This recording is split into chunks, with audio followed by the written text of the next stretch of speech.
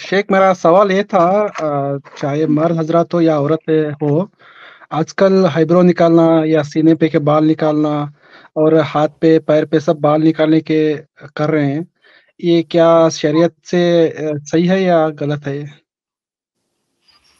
जी देखिए इसमें कई एक मसाइल हैं। एक मसला तो आपने कहा, आईब्रो निकालना। आईब्रो निकालने के सिलसिले में तो सरी तौर से हदीस है अल्लाह के नबी वसल्लम की कि वो हराम है। उसमें कोई शक नहीं है उसके हराम होने में। चेहरे का बाल है। अब चेहरे चेहरे में मर्द भी आ सकता है, औरत भी आ सकती है।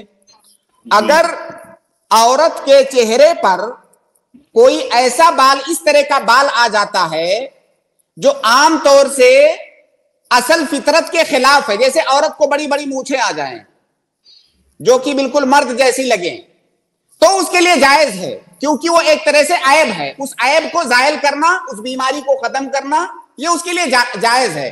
लेकिन अगर औरत का चेहरा नॉर्मल है जो नॉर्मल तरह से जिस तरह होता है वैसा है।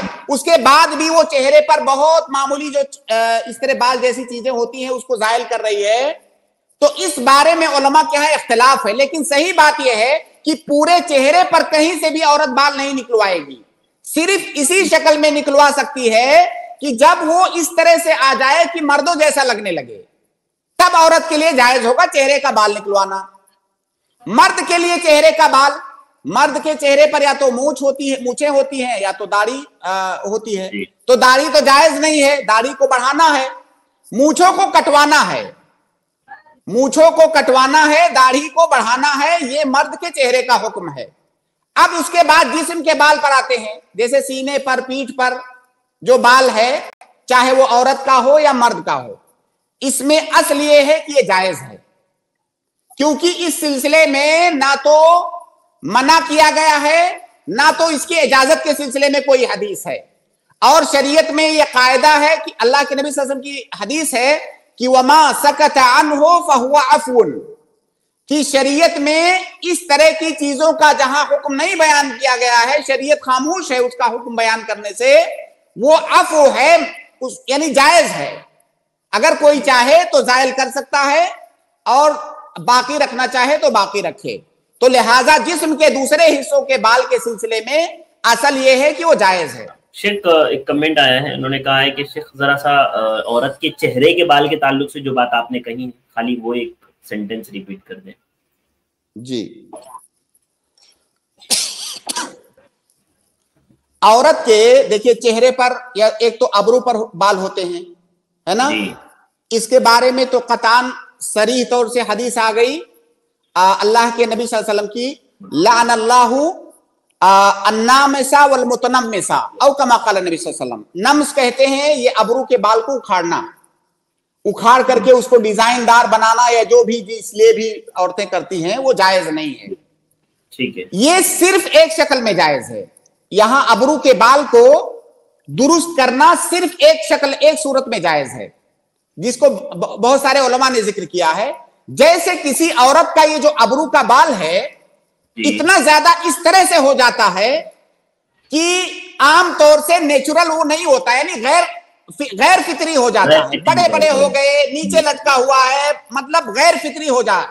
अगर वो गैर फितरी हो जाए तो उसको उसमें इतनी तब्दीली किया की जा सकती है कि वो जो नेचुरल होता है उस तरह हो जाए। और ये बहुत कम होता है बहुत नादिर किसी औरत का कि गैर बल्कि जो औरतें उसको निकालती हैं बाल का उनका फिर बाद में गैर फिक्री हो जाता है। लेकिन जो छोड़ के रखेगी उसका गैर फिक्री नहीं होगा।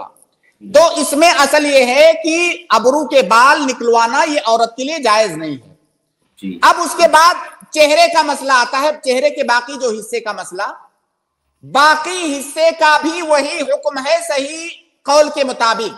कि जिस तरह से अबरू का बाल नहीं निकाल सकती औरत, उसी तरह चेहरे के बाकी हिस्से का भी बाल वो नहीं निकालेगी। इसको भी बहुत सारे उलमा ने नम्स में शुमार किया है। लेकिन अगर किसी औरत को मान लीजिए दाढ़ी दाढ़ी के बाल आ जा रहे हैं, जो कि होता है बहुत कम, लेकिन होता है कि उसको चंद एक बाल आ गए, या मूछे, मूछों पर उसके बाल आ गए।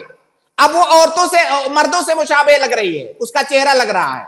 तो ये गोया की गैर फितरी है। उसको जायल करना उसके लिए जायज़ है। अब यहाँ पे ये जो मैंने गुफ्तगु किया इससे एक उसूल निकल करके सामने आया। वो उसूल क्या है कि अगर कोई ऐब है तो उस ऐब को जायल करना ये जायज़ है। लेकिन अगर ऑलरेडी वो फितरी है तब उसमें तब्दीली करना ये जायज़ नहीं है। अगर कोई ऐब है तो उसको खत्म करने के लिए बाल को उखाड़ना ये जायज़ है।